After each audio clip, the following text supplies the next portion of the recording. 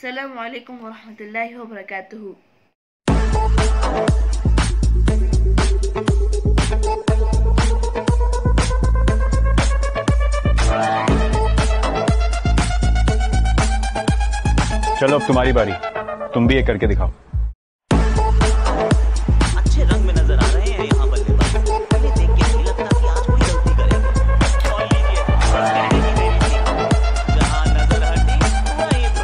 चलो अब तुम्हारी बारी।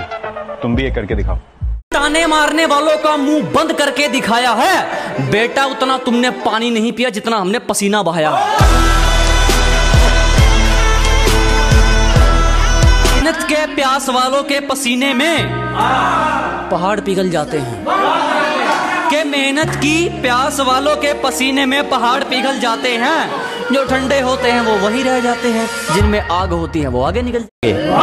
अज़ीज़, समय वही अच्छा है, जब मुश्किलों से लड़ते तुम इकलौते रह जाओगे। तुम्हें जीना चाहिए अपनी खातिर। लोगों के लिए जियोगे तो रोते रह जाओगे।